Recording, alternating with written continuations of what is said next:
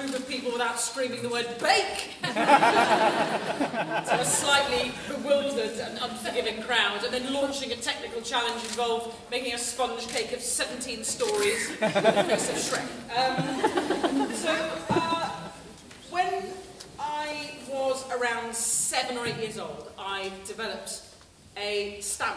It was only a mild stammer, stammer but it destroyed my life because I couldn't communicate.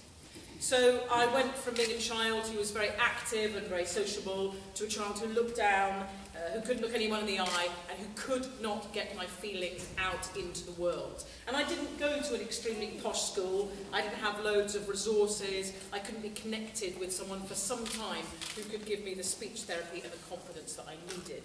But what I did have was a music teacher And what my music teacher understood was that communication is communication, however you choose to express yourself, whatever medium you use. I didn't have my voice for a while, so she put in my hand a flute.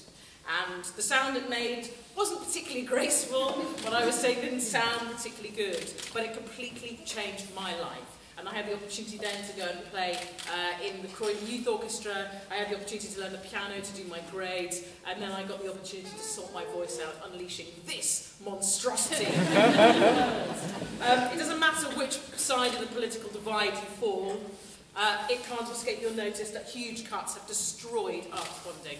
They have destroyed the ability for young people, I was once a young person, to do what I did and to have this incredible experience. So I do hope whatever spare cash you have, and I know there's not an inordinate amount of it knocking around at the moment, you'll throw into a bucket or you'll pledge your support. Uh, I've only spent an afternoon with this extraordinary orchestra. It's been a real laugh. It's been a real privilege. I'm delighted to be here. So, for your delectation, do I introduce you now, my darling?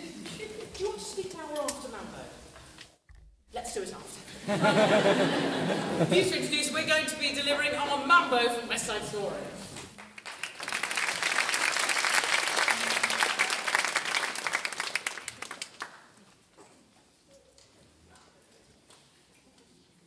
don't deserve a baton. I haven't.